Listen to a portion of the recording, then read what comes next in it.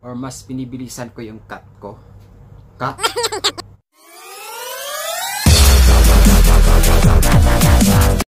Grabe guys, ang dami nang nangyari at nagbago sa panahon ngayon. With the powerful tool of social media and the advancement of technology, it makes our life so much easier. It gives us the power to amplify our voice para makapag-communicate tayo to our wider audience. Siyempre, sa tulong na rin ng social media, ang dami na rin nagboom ng mga YouTubers, vloggers, content creators, influencers. Pero alam nyo ba na ang salitang influencers ay hindi naman talaga siya trabaho o profesyon. Pag sinabing influencer ka, you have the power to alter the beliefs of people. Influence them to buy something, blah blah blah. Anyway, let's go to the topic today. So, klinik mo tong video nito dahil gusto mo maging YouTuber, vlogger, content creator. Pero ilan sa inyo nahihiya pa kung paano gawin. So, eto, pwede mo itong gawing starting point.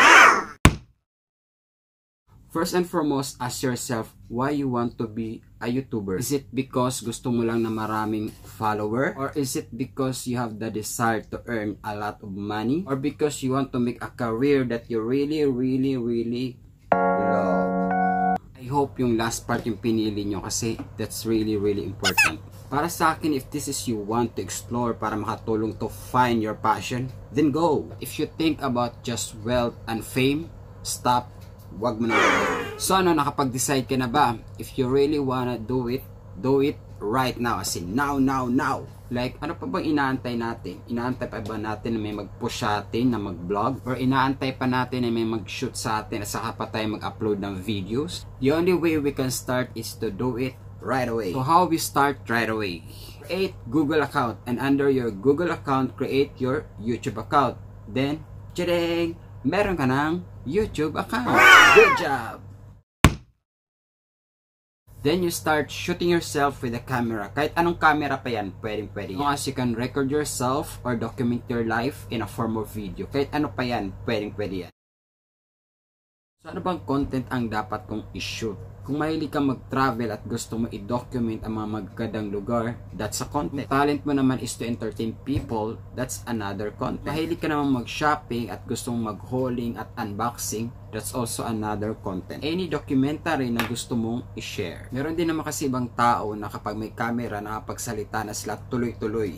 Sa akin, gumagawa talaga ako ng script tapos ina-outline ko na lang. There's nothing wrong with that because you don't want to miss anything to your videos. Darating din sa point na medyo magagamay mo na siya. Good thing kung gusto mo talaga maging vlogger, ikaw magde-direct, ikaw mag-shoot, ikaw mag-edit, lahat, you own it. You just have to enjoy the whole process. And now nakapag-shoot ka na, then how you become creative? By editing your videos. Kung hindi ka marunong mag-edit, pwede mo namang i-upload yung video mo. If you want to become more creative, then you need a editing software like InShot, iMovie, KineMaster, Final Cut Pro X, kahit ano pa yan. Kayong bahala kasi hindi nyo naman kailangang maging perfectionist. You don't have to make the most perfect first vlog. Kasi it's a learning process, you just have to keep on practicing. Ako kinakabahan talaga ako dati in front of camera until nasanay na ako. Basta just doing it consistently and keep uploading at tuloy-tuloy lang. Kasi I'm sure the second time that you're doing it is better than your first and the third time will be better than your second and so on and so forth. May natutunan ka kada vlog na ina-upload mo at ma-apply mo talaga siya sa next. I don't think na may mga pangyayari na habang ginagawa mo palagi ay pabubits ka ng pabubits. Walang ganun. Once you keep doing on something, you will really improve it. Promise, kaya mo. Ako na-realize ko in order to have your video more engaging, uh, nag-hand gesture ako, or I use a couple of texts, or mas pinibilisan ko yung cut ko. Cut? Yung attention ba ng tao, sobrang ikli, pag minsan sobrang bagal mong magsalita, ang dami mong om, om, om, yung ganun, may mga tao talagang hindi pasok sa taste nila yun. I-exit na sila sa video mo at lilipat na sila sa ibang video. And that's you wanna avoid. So para interesting siya, you let people know your journey. Vlogging is just like a diary, just documenting your daily life. So di mo kailangang mag-pretend to be someone else. Di mo kailangang magpa-impress ng tao because they like who you are. Mawi-witness ng tao, ay, dati mahiyain siya, ngayon confident na siya. Yung talagang technique, keep on creating. Aside from creating consistently, ang pinaka-essential din talaga is the mindset. Dapat you're always hungry for the new knowledge. Dapat you don't wait someone to spoon video. Dapat alisin natin na we're depending on other people. Like kunwari, instead of asking na, can you do this for me? Can you give me more ideas to do? Why don't you ask this question? Planning to do this kind of content by doing this. What you think? Ganon. Mas proactive tayo pag ganon. Pat hindi tayo nag expect from spoon feeding from other people. And of course, pag ikaw may learning ka na, always share to other people. Tulungan na talaga yan.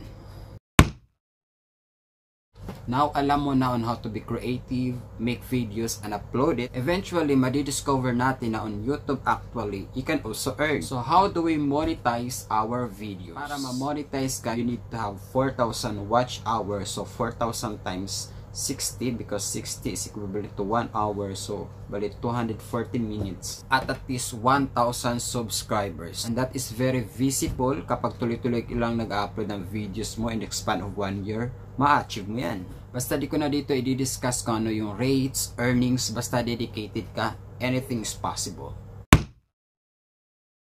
So, paano ba tayo makakuha ng ating subscribers sa ating channel? Ang common na misconception talaga is mag-comments sa YouTube videos ng sub to sub.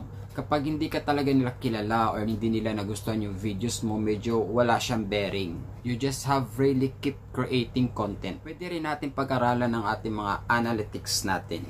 Yes, dun kasi natin makikita kung sino-sino yung nanonood Merong mga iba't ibang lugar, doon mo makikita yung mga performance at saka yung subscriber mo, anong age nila, kung tag taga saan sila, doon mo makita sa yung YouTube channel analytics. Makakatulong din by spreading it to the world na meron ka ng YouTube channel by promoting it to your social media, to your friends and family by the word of mouth. You can also collaborate to other YouTubers. Kasi collaborating with others can help your channel grow fast. So yun, ang daming paraan para mag-grow ka, hindi lang sa social media, sa kahit anumang klaseng career. As you're really driven to the things that you wanna learn, as long as you have the purest intention, yan, kung ano man yung gusto mong gawin, basta keep prioritize your physical health, mental health, at spiritual health. Salamat! See you for the next vlog.